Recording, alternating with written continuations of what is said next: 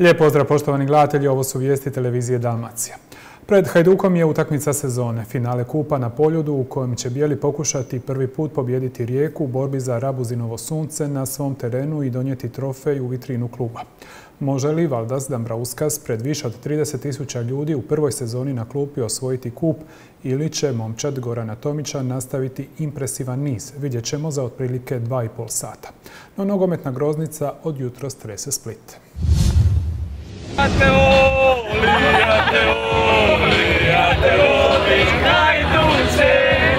Splitska riva obojana je u bijelo, kao da je cijela Dalmacija obukla dres i ogrnula se šalom najdržeg kluba.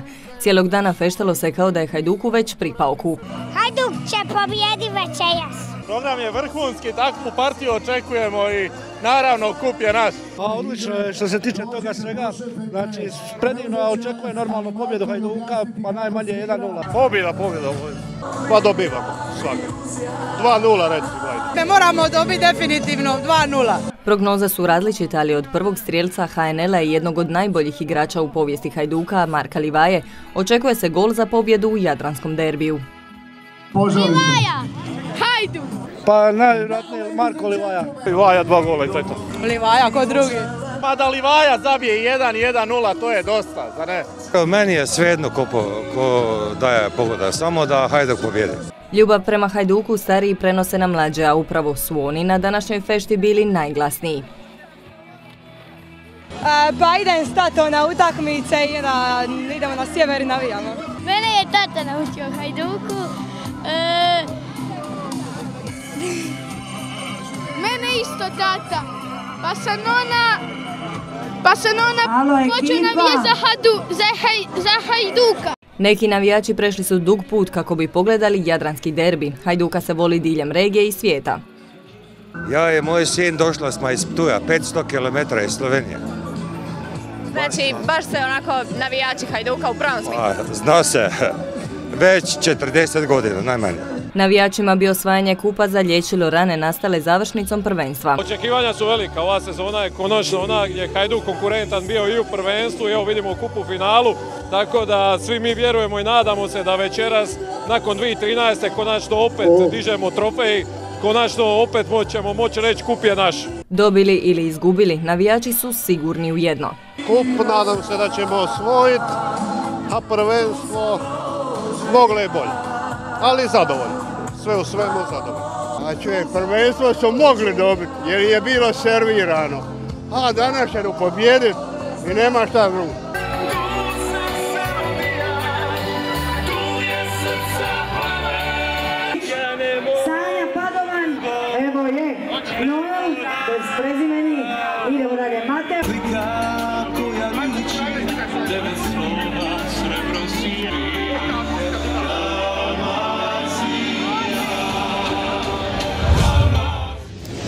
Više od 250 medijskih djelatnika potpisalo je peticiju kojom su stali uz omiljenog kolegu Matu Prlića, uvjereni da nije imao ništa s izazivanjem navijačkih nereda na Desincu, zbog čega je završio u istražnom zatvoru.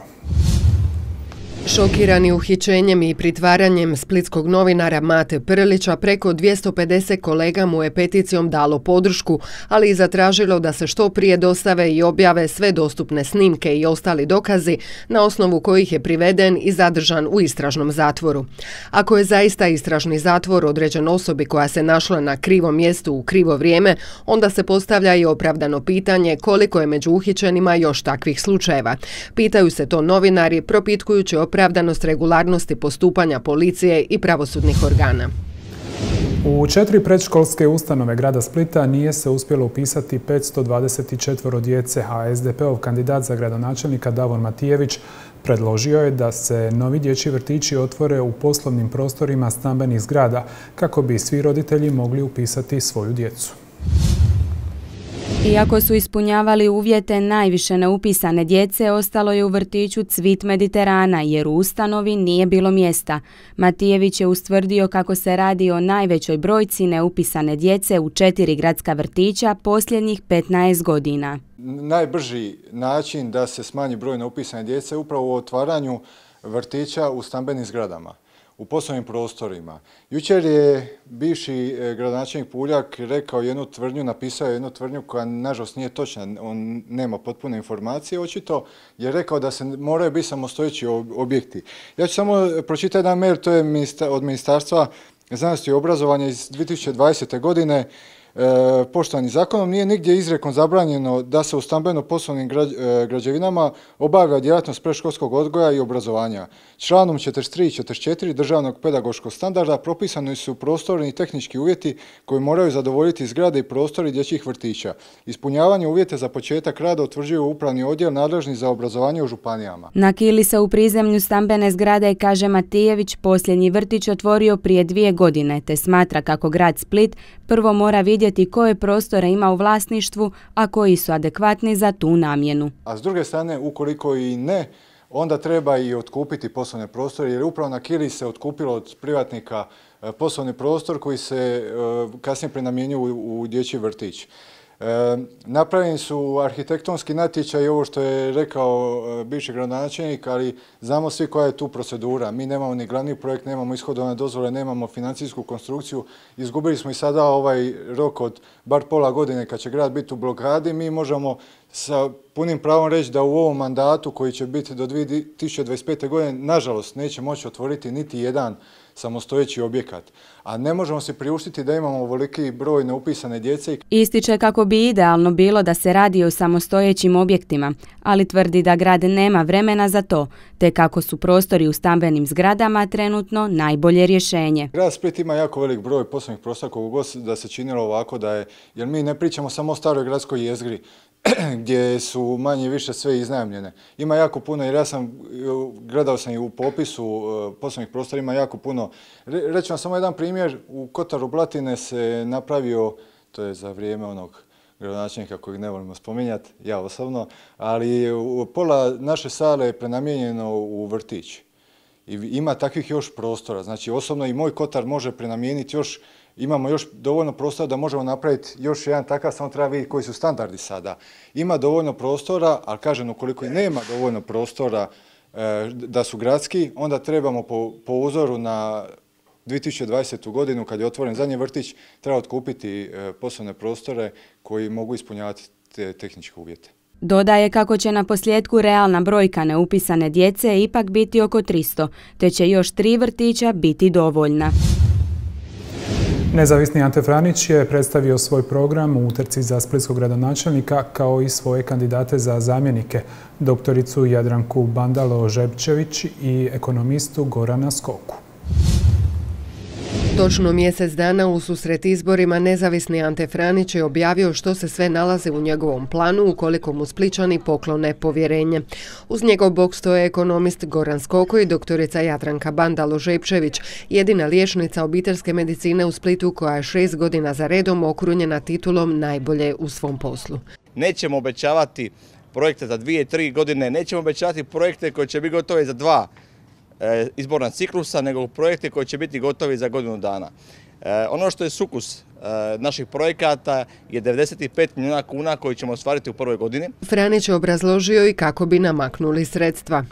Gradska parkirališta koja se nažalost sada koriste u split parkingu gratis ćemo izvojiti iz split parkinga i daćemo ih na natječaj. Naravno fiksirat ćemo cijene po svim zonama E, cijena za građana se neće povećavati i tu će doći do uštede od, 90, od 40 milijuna kuna.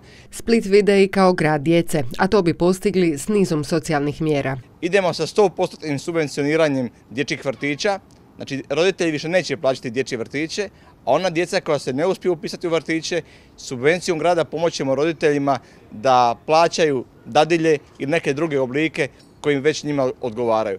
Također idemo sa E, besplatnim e, marendama u osnovnim školama sa osiguranjem djece, ali želimo pomoći roditeljima čija djeca idu u osnovnu školu. Produženi boravak ćemo financirati u 100% iznosu, a djeca će, plaćati, odnosno roditelji će plaćati samo marendu.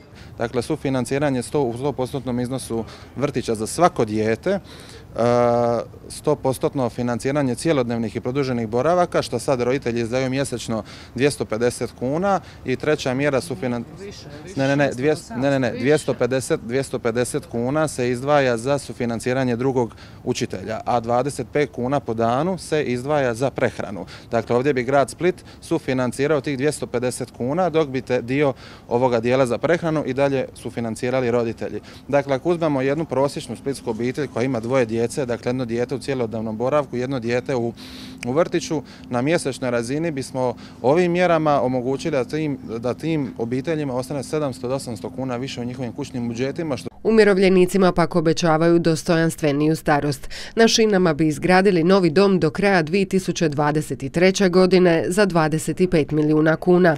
Obratio se i poduzetnicima. Našim ugostiteljima koji kojima ova vlast je nametnula velike e, harače, omogućit ćemo da van sezone ne plaćaju štekate, želimo da van sezone grad živi. Split kao grad zdravlja predstavila je doktorica Jadranka Bandalo-Žepčević koja je punila novinske stupce u sješnju ove godine kada su njeni pacijenti potpisivali peticiju da je Županijski dom zdravlja ne šalje u mirovinu.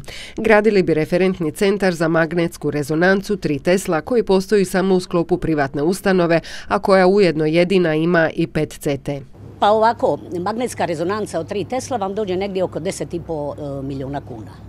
Mislim da bi se to kroz dva proračunska razdoblja apsolutno moglo napraviti. E, nešto slično, ali tu su negdje po cijenama. E, tako da bi, a postoji grad Split ima i prostor svoj, Bjankinijevo, 150 kvadrata, gdje bi se zaista moglo onda sve to skupa ukomponirati i sa HZZ-om sklopiti ugovor gdje bi pacijenti na uputnicama, dakle, praktički za njih besplatno rješavali svoje osnovne probleme. Split jedini nema takav centar, a bolnica ima osiguran kadar. E, drugo što je Ante spomenuo je nešto vrlo, vrlo bitno, a to je taj e, poremećaj, neurorazvojni poremećaj kod e, djece, koji je nažalost sve veći, sve više imamo oštećene djece i to je ono što je neophodno gradu Splitu. Nekada su to bili recimo dobri referentni centri u Zagrebu, čak i gore je slabije trenutno možda najveći u Beogradu. Tako da naši pacijenti, zapravo mali, moraju ići do Beograda da bi se liječili, što je absurd, jer mi imamo kadra, ali nemamo tu organiziranu strukturu koja bi nam pomogla da tu djecu ovaj, adekvatno liječimo. Reorganizirat ćemo cijelokupnu gradsku vlast. Ova gradska vlast je nakrivo nasađena, da pojednostavnimo. E, provizija od 2,3 ili 2,5 milijuna kuna koji je gradonačelnik, bivši gradonačelnik Ivica Puljak pogledao brokerskoj tvrtci, mi ćemo ostaviti u našim firmama. Stano upravo ćemo doregistrirati, dva ili tri djelatnika ćemo poslati na, na e, izobrazbu za, za, za brokere, da polože tečaj za brokere i stana uprava će raditi e, natječaj i osigurati cijelokupnu gradsku imovinu. Na takav način ćemo ostaviti novac novac u gradskoj firmi. Podršku Franiću dolaskom na konferenciju pružila je i nekolicina zakupaca sa Starog pazara u Hrvojevoj ulici. Bivši gradonačelnik Željko Kerum spremnije je od većine ostalih ušao u novu izbornu utrku i uvjeren je kako anketama unatoč može ostvariti dobar rezultat. Kampanju mu vodi mladi lav Igor Stanišić koji kaže kako odnose s javnošću ne žele prepustiti zagrebačkim stručnjacima koji naglašava ne poznaju ni mentalitet ni političku situaciju u Splitu. U vijestima televizije Dalmacija pozdravljam gospodina Igora Stanišića iz HGS-a, bivšeg predsjednika Splitskog gradskog vijeća i sada pitanje odmah je li kandidata za zamjenika gradonačelnika Splita? Pa najvjerojatnije, ali pustio bi to predsjedniku stranke, gospodinu Kerumu, da napravi presicu i da javno obznani ko će biti prvi i drugi zamjenik, pa ja sad ne da vam ne želim reći nešto sakrit, nego eto, da poštujem protokol. Dobro, važan je protokol, međutim ove godine ste ušli, čini se spremniji od ostalih konkurenata u ovu utrku. Naravno, vi ste već imali tu iskristalizirane ljude za razliku od drugih stranaka, ali bilo je tu već nekoliko jako zanimljivih objava, čak i humora koji u politici inače teško prolazi. Vidim, smiješite se, e, zabavljeni ste ovom kampanjom za sada, čini mi se i zadovoljni. Pa vidite, smatram da nam dobro ide, pričam sa ljudima, bez obzira što netko plasira iz Zagreba nekakve ankete koje su po meni nerealne, koje, koji nastoje javno mjenje usmjeriti u jednom smjeru koji nije takav kakav je na terenu. Zadovoljan sam, spremni smo, dobro nam ide, doživjeli smo to ležerno, Smatram će rezultat e, biti dobar, a mi smo, kao što ste rekli, mi smo uvijek spremni, mi živimo u gradu Splitu, za Split, ljudi znaju nas, mi znamo ljude i tu nema neke velike laži ni tajne, ljudi točno znaju što s nama dobivaju, što im se ne sviđa, pa ko vodi neki izvod. E, ko je radio PR? Kaže doktor za grad protiv doktora za svemir i doktora za spavanje, dosta ljudi to nasmijalo. Je li imate nekoga ko vam vodi odnose s javnošću ili je to već iskustvo nakupljeno? Pa to je, to je već iskustvo, mi nemamo nikog na plaći da ga plaćamo za PR, mi smo po prirodi, ajmo reći tako, duhoviti ljudi i ne samo duhoviti, nego poznajemo i naš grad i situaciju u Splitu i smatramo da neki PR koji dođe iz Zagreba, koji ne poznaje tu mentalitet ljudi, koji ne zna kakav je naš grad, koji ne poznaje političku situaciju, koji na koncu ne poznaje ni aktere u gradskom vijeću, kandidate i ostalo, da on ne može odraditi dobar posao. To je nekako naše mišljenje i smatram da za naše potrebe uglavnom PR radim ja u suradnji s gospodinom Kerumom, ništa naravno ne ide vani bez da on odobri ja da neke svoje ideje, nešto se svidi, nešto odbacimo i skupa to, da tako kažem, prosijemo i evo za sada su ljudi oduševljeni. ide vam dobro za sada, kad pogledamo prošlu godinu ono što, što se događalo u kampanji onih ljudi koji su imali PR-ove iz Zagreba, jasno je zašto se niste odlučili e, za taj potez.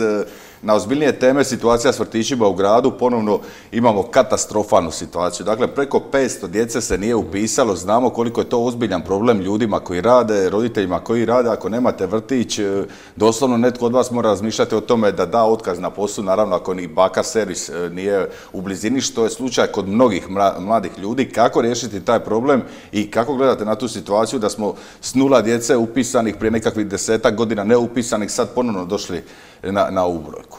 To je jedna jednadžba koja meni nije jasna sa puno nepoznanica, da tako kažem. Nažalost, to je preozbiljna tema i kaže gradonačelnik Puljak da on to nije mogao riješiti u deset mjeseci. Ja smatram da je mogao, a u ostalo njega građani nisu birali na deset mjeseci, nego na četiri godine. A to što je on otišao zbog svog zamjenika, što smatra iz neke kalkulacije će možda proći bolje nego prošli put, to je njegova stvar, to se građane ne tiče. Građanin samo zna da on sada nije upisao svoje dijete.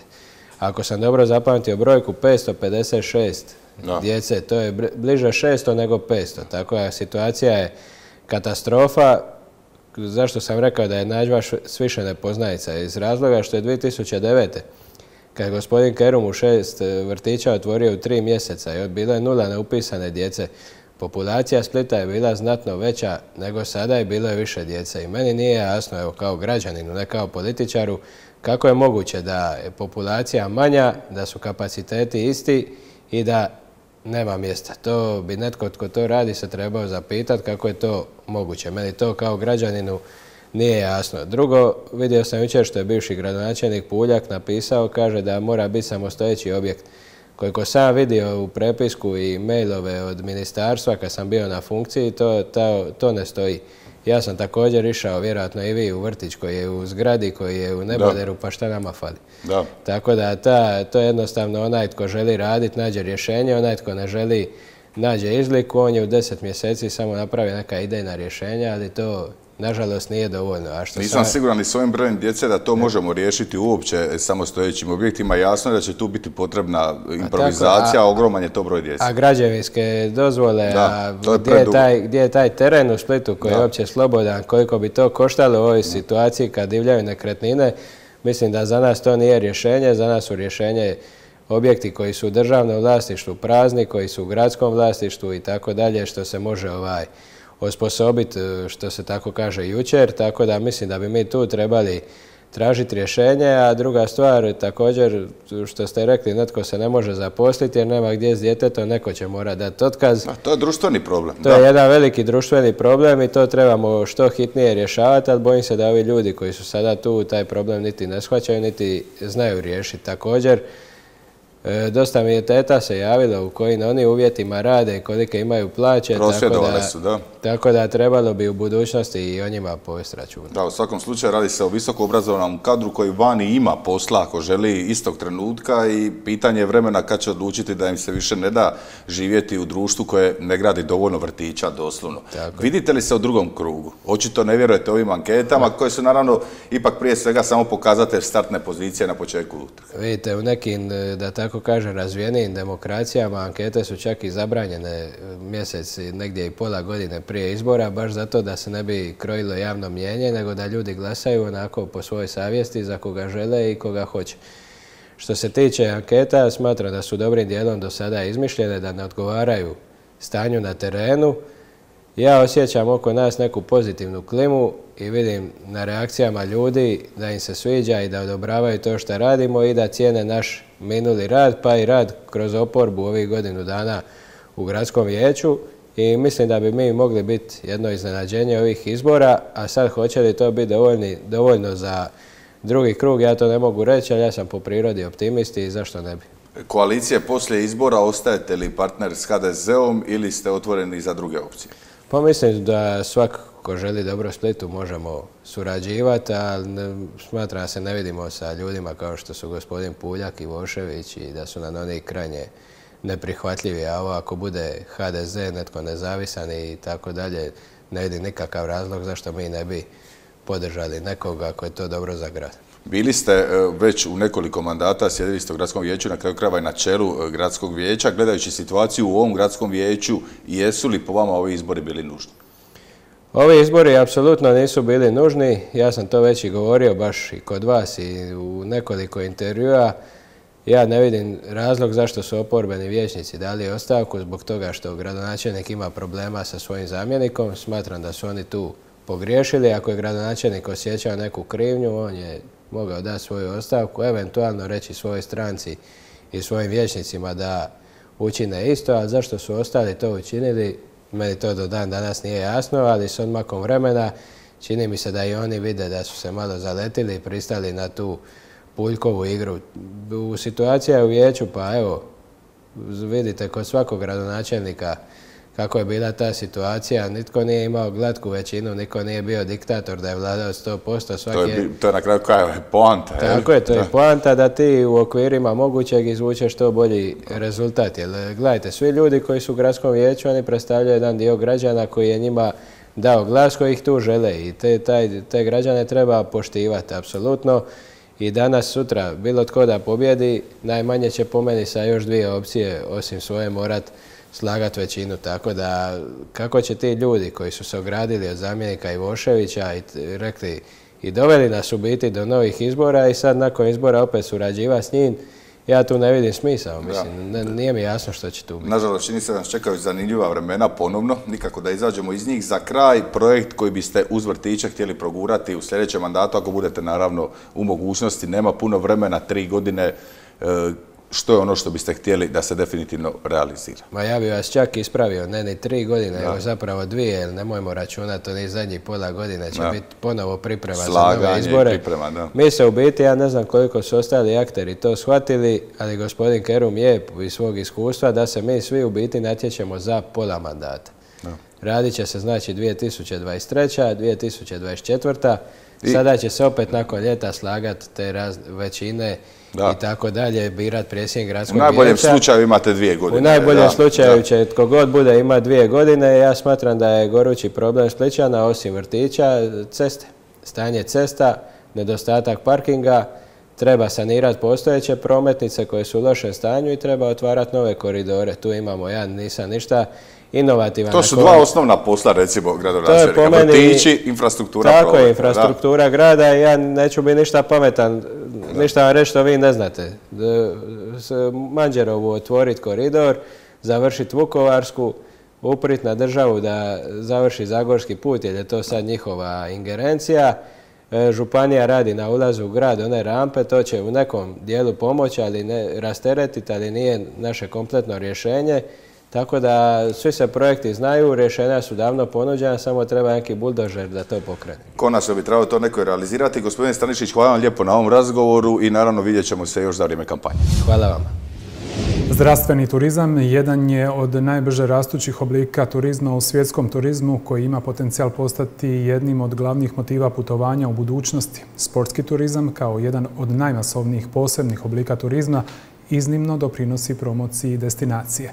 A Splitsko-Dalmatinska županija ima predispozicije i potencijal za jači i kvalitetni razvoj ovih oblika turizma. Zato je u Splitu održana panel rasprava na ovu temu. Na raspravu nije došla iako je bila najavljena ministrica turizma i sporta Nikolina Brnjac, ali su ostali sudionici spremno izložili dosadašnje uspjehe i planove na ovu temu. Vrlo je važno znati da e, u BDP-u Republike Hrvatske sami sport i vezano za sport e, djelatnosti čine 1,4% BDP-a, dok za Evropsku uniju to čine 2% BDP-a. I ne vidim razloga zbog čega Split ne bi upravo bio onaj, e, onaj grad koji može doprinijeti 3, 6, 5 održivome turizmu. Hrvatska se uglavnom brendira kao zemlja sunca i mora, no prava prilika je u zdravstvenom i sportskom turizmu kako bi imali održivi turizam, istaknuo je državni tajnik u Ministarstvu turizma i cijela naša, e, cijela naša marketička aktivnost i pozicioniranje na tržištima bi trebalo u budućnosti ići upravo po turističkim proizvodima, a što se tiče konkretno naše županije e, u vidu sportskog turizma, tu su nam potencijali izvaredni, zdravstveni turizam jednako tako, ali ono što moramo definitivno napraviti i sa aspekta e, javne turističke politike i naravno realnog sektora moramo jako puno uložiti u infrastrukturu da bi se ti proizvodi mogli realizirati i upravo to radimo sada kroz naš nacionalni plan za oporavak i otpornost. Upravo je u javnom savjetovanju poziv e, gdje za javni sektor dajemo mogućnosti financiranja značajna e, sportske infrastrukture, odnosno zdravstvene infrastrukture u funkciji turizma, a nedugo nakon toga slijedi poziv za privatni sektor. Prilikom predstavljanja programa nezavisni HDZ-ov kandidat za splitskog gradonačelnika istaknuo je kako bi vratio mediteranske igre u Split, ali i potaknuo medicinske kongrese. Turizam je ono što zaista strateški trebamo uzeti uzde i napraviti pravu viziju turizma u Splitu. Jedan je dio sportski turizam, ali imamo i zdravstveni turizam i kongresni turizam što čini jednu cijelinu. Ono što je moja zadaća ovdje je predstaviti potencijale koji su preduvjet za bilo koji od tih vrsti turizma, a to je snaga bolnice. Bolnica vam ima oko milijun i šesto pacijenata ljeti, što je puno, puno više nego što inače ima tijekom godine. I kad god neki turist dođe na takvu destinaciju, onda on prvo u Google vidi je li tamo postoji zdravstvena zaštita takve, takve vrste. I ono što je naravno, ova bolnica je specifična po tome što je to KBC, a to vam je na engleskom jeziku University Hospital ili sveučilišna bolnica. Prema tome, krovna institucija za bilo koju koheziju ovdje je medicinski fakultet, odnosno sveučilište u Splitu. I to je ono važno prepoznati. Jel? Dakle, tu je potencijal ogroman. Postoji ideja infrastrukturnih ulaganja u sportski centar kako bi Splitsko-Dalmatinska županija zaživjela kao destinacija ovog posebnog oblika turizma. Posljednjih nekoliko godina smo imali različite nekoliko inicijativa. Ono što se pojavljuje kao potencijal veliki, dakle, to je dijelom na Makarskoj rivijeri i nemojmo zaboraviti cijelo naše dalmatinsko zaleđe. Dakle, mi smo svi tu jako blizu, e, udaljenost od mora i zaleđa je 15, 20, 30 minuta vožnje, dakle imamo jako puno neiskorištenog prostora, ali opet, dakle, odgovor na to pitanje moraju dati sredine koje uistinu žele napraviti iskorak po tom pitanju. To nije stvar koja se može definirati Zagreba, dakle ovdje lokalne općine i gradovi moraju odabrati e, lokacije, destinacije, a onda naravno rješavanje svega onoga što treba od samog državnog ili zemljišta općinskog pa tako dalje. Sudionici rasprave važnost zdravstvenog i sportskog turizma zaključili su kako Hrvatska ima prostora za napredak, a iz HGK ističu kako je njihova zadaća spojiti sve aktere da bi došli do željenog cilja, a to je u ovom slučaju brendiranje Hrvatske kroz zdravstvo i sport. Točno mjesec dana prije prvog kruga izbora u studiju Objektivnog sjelo je dvoje kandidata kojima prve ankete ne daju velike šanse. Ipak oni su se odlučili boriti uvjereni kako će građani prepoznati njihove ideje. Kako Ante Franić misli uspjeti bez potpore SDP-a i zašto Zdenka Šarolić smatra da može revitalizirati splitski HNS, doznajte večeras u 21 sat u programu televizije Dalmacija. Sve što je čovjek radio je bilo samo vlastiti PR. Ja sam često puta znao reći da je Ivica Puljak isto kao kraljica Elizabeta, samo se naslika i protokolno ponaša, a to građanima Splita ne treba. Ali nije samo novac, nego je pitanje i znanja u tim kotarevima, ko će to preuzeti, ko će donijeti odluke, tko mora potpisati odluku. Jer ako sada ne možeš promijeniti klupu, ako ne možeš promijeniti žarulju, bez da ti neki pročelnik potpiše u centru grada, mislim, te stvari predugo čekaju. Poštovani gledatelji, hvala vam na pozornosti. Bilo bi to sve u vijestima televizije Dalmacija za danas. U nastavku programa doznajte i kakvo nas vrijeme očekuje sutra. Srdačan pozdrav.